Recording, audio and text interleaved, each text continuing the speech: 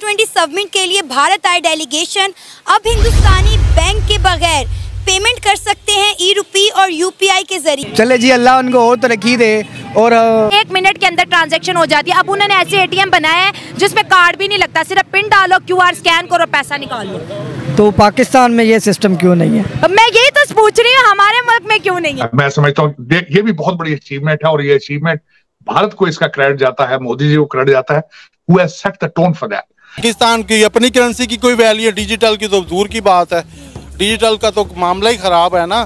तो अब पाकिस्तान की जो करेंसी है वो अभी अफ़गानिस्तान से भी नीचे है बांग्लादेश से भी नीचे है। पर इस बात पे देखे अब सर पकड़ के सोचने की कि पड़ोस में क्या हो रहा है? जो लोग जिनके साथ हमारा डीएनए मिलता है सदियों से हम इकट्ठे रह रहे थे। हमारा माइंड सेट हमारे टेस्ट हमारी सोचे हर चीज़ है। लेकिन तरक्की अलग अलग है। अगर आप पाकिस्तान को इंडिया के साथ कंपेयर कर रहे हैं तो ज़्यादा कर रहे हैं। इंडिया के साथ ज़्यादा कर रहे हैं। हर जगह ही इंडिया हमसे आगे है। हम टेक्नोलॉजी में इंडिया तो दूर, हम बांग्लादेश का भी मुकाबला नहीं कर सकते हिंद दोस्तों। दोस्तों, आप सभी का एक नई वीडियो में स्वागत है। दोस्तों, जैसे कि आप लोग जानते हैं कि भारत ने यूपीआई सिस्टम को लॉन्च किया है और यूपीआई सिस्टम कुछ ही सालों में पूरी दुनिया में छा गया है। दोस्तों यूपीआई सिस्टम से आप आसानी से अपने पैसे दूसरे बंदे को ट्रांसफ़र कर सकते हैं उसके यूपीआई नंबर से। और दोस्तों, इसी वजह से पूरी दुनिया में यूपीआई को काफ़ी ज़्यादा सराहा जा रहा है और सभी कंट्रीज़ यूपीआई सिस्टम को लेना चाहती हैं। दोस्तों, जब भी कोई भी कंट्रीज़ बाहर से इंडिया में आती हैं तो जब उनको यूपीआई से जो है वो दिखाया जाता है तो वे काफ़ी ज़्यादा इसके फ़ैन हो जाते हैं और जी में भी कुछ ऐसा ही हुआ। काफ़ी ज़्यादा कंट्रीज़ अपने देश में यूपीआई सिस्टम को लाना चाहती हैं और इसी वजह से उन्होंने भारत को अप्रोच भी किया है, जिसमें अमेरिका तक शामिल है। दोस्तों, इससे पता चलता है कि भारत टेक्नोलॉजी में आज कहाँ पर पहुँच गया है। सभी देशों से आगे जो है भारत इस वक्त चल रहा है और भारत का यूपीआई सिस्टम तो सबसे आगे चल रहा है। दोस्तों, आज की हमारी वीडियो भी इसी टॉपिक पे होने वाली है। अगर आपको हमारी वीडियो पसंद आए तो वीडियो को लाइक और चैनल को सब्सक्राइब भी कर देना। तो दोस्तों, बिना किस देर के वीडियो को तो start let start the video digital India की बात की जा रही है और हमारे यहाँ जो है वो पॉलिटिशियंस आपस में लड़ने से ही फुर्सत नहीं है और ना ही हमारी इकोनॉमी संभल रही है। आपने डिजिटल इंडिया की बात की थी। मेरी नज़र से एक प्रोडक्ट उनकी गुजरी यूपीआई उसको कहते हैं United Payment Interface I was shocked I was shocked अगले दिन मैंने मोदी जी की स्पीच उसके बारे में जब सुनी वो किस तरीके से उन्होंने सिंगापुर के साथ उसको अटैच किया है। उसका जो अ, अ, दायरा कार है Bhutan Nepal Malaysia Singapore UAE France Oman and European Union. ये एक पेमेंट का एक एक, एक ऐप है या एक जिसके साथ कोड के साथ आप पेमेंट भेज सकते हैं। इस वक्त साढ़े छह लाख भारतीय जो है वो सिंगापुर में है और वो जब पैसे भेजते हैं अब सिर्फ़ फ़ोन नंबर पे पैसे भेज पाएँगे। और बार बार डिजिटल इंडिया की बात की और दूसरा जब मैंने अगले दिन मुझे ये भी पता चला है कि यूट्यूब के नए जो सीईओ हैं नील मोहन साहब वो भी भारत बल्कि बड़ा इंटरेस्टिंग इलेक्ट्रिकल इंजीनियर है लेकिन वो उन्होंने अपना अपनी स्किल जो है वो अब वहाँ पे वो डिजिटल इंडिया की बात हो रही है इस साइड पे जिहाद की बात हो रही है। फिर ये मुझे अक्सर कई लोग कहते हैं यार कि तुम पाकिस्तान बैशिंग ये पाकिस्तानी बैशिंग नहीं है। ये ख्वाहिश का इजहार करना ये सोचना कि यार मेरे मादरे मिलत के अंदर मेरे मुल्क के अंदर भी कोई ऐसा इंसान हो जो कहे आए डिजिटल पाकिस्तान की बात की जाए। जो अगर चेन्नई बन सकता है अगर सिलिकॉन वैली बन सकती है तो लाहौर में डिजिटल डिजिटल डिजिटल सिटी नहीं बन सकता। क्या वाकई आपको जिहाद चाहिए? आपकी डेस्टिनेशन यही है? अपने बच्चों को ऑक्सफोर्ड अमेरिका पढ़ाने वाले क्यों नहीं आपको बताते कि आए डिजिटल पाकिस्तान बनाए? वो क्यों नहीं चाहते कि आप अपने पाँव पे खड़े हो जाएँ?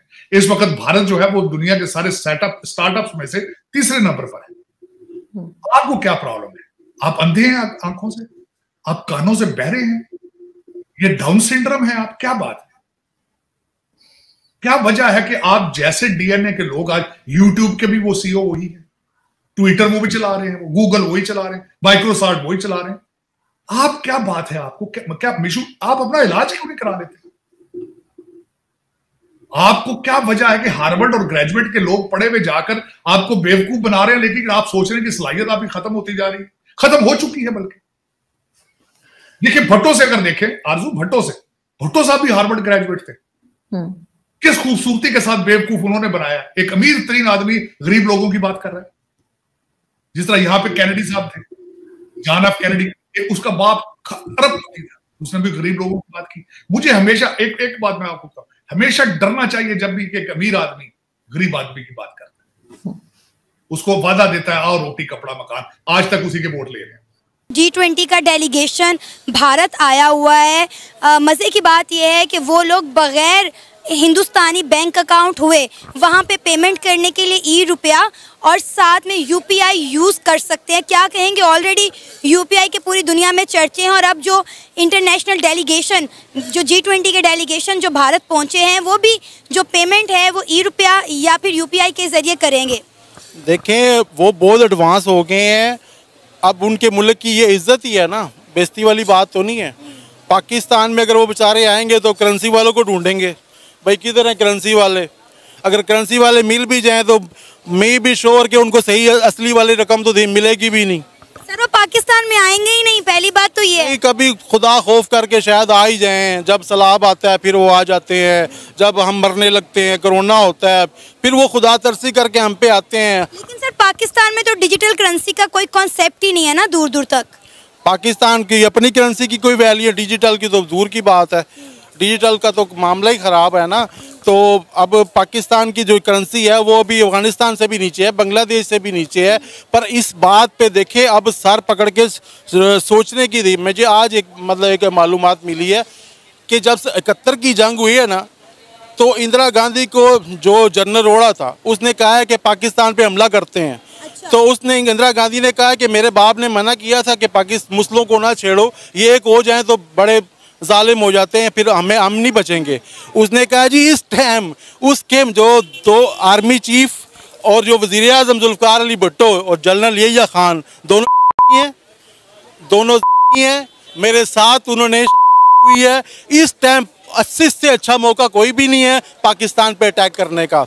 ये जनरल रोड़ा ने गांधी, इंदिरा गांधी को कहा फिर इसी लिए उन्होंने हमला किया। इसी वजह से हम इकहत्तर में हमने नबे हज़ार फौजी भी कैद कराए, ठीक है? और हमने अपना आधा मुलक तो उन- छोड़ दिया ना। बांग्लादेश से हाथ धो बैठ इधर हम, उधर वो। नशई आदमी था भुट्टो शराब पीता था। उसने कहा "भी मेरे पास इतना ही काफ़ी है। तो दोस्तों, ये थी आज की हमारी वीडियो जिसमें हमने देखा कि किस प्रकार से भारत का यूपीआई सिस्टम इस बार पूरी दुनिया में छा चुका है और एक ब्रांड की तरह काम कर रहा है। पूरी दुनिया यूपीआई सिस्टम को लेना चाहती है और अपने देश के लोगों को सुविधा सुविधा जो है मोहलत करवाना चाहती है, क्योंकि इससे आप कैशलेस ट्रांजेक्शन कर सकते हैं। आपको अपनी जेब में कैश रखने की कोई भी ज़रूरत नहीं पड़ेगी और सिंपल आप किसी भी यूपीआई नंबर कोड पेमेंट कर सकते हैं। और इसी वजह से अब काफ़ी ज़्यादा कंट्रीज़ भारत को ये कह रही है कि हमारे देश में भी यूपीआई सिस्टम को लॉन्च किया जाए और इस देख के जो है पाकिस्तान काफ़ी ज़्यादा हैरान है और वे कह रहे हैं कि हमारे देश में ऐसी टेक्नोलॉजी क्यों नहीं डेवलप होती है? हमारे देश में आज भी हम कितने पीछे चले गए हैं? आज हम भारत से इतने पीछे हैं कि आप आप हम भारत का मुकाबला सौ साल तक नहीं कर पाएँगे। दोस्तों, आज की हमारी वीडियो आपको कैसे लगी कमेंट बॉक्स में ज़रूर बताना और चैनल को सब्सक्राइब भी कर लेना और मिलते हैं नई वीडियो के साथ, तब तक थैंक यू एड बाय